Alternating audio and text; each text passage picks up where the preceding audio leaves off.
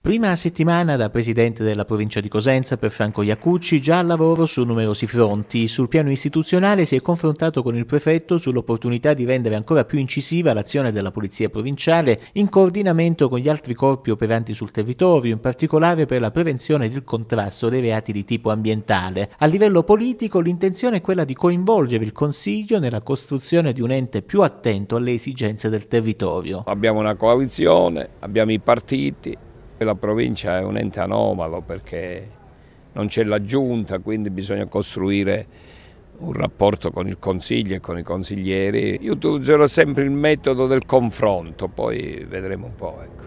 Iacucci pensa anche di avviare un percorso su scala nazionale per riportare le province ad enti di primo livello. Insieme alla battaglia dell'amministrazione, diciamo, all'impegno dell'amministrazione, noi dobbiamo iniziare insieme alle altre province una, un rapporto e un confronto con il governo e con il Parlamento per eh, ridare ruolo alle province come ente intermedio di coordinamento anche tra i piccoli comuni, i comuni, le regioni e, e lo Stato. Ecco. Salvatore Bruno per la CNews 24.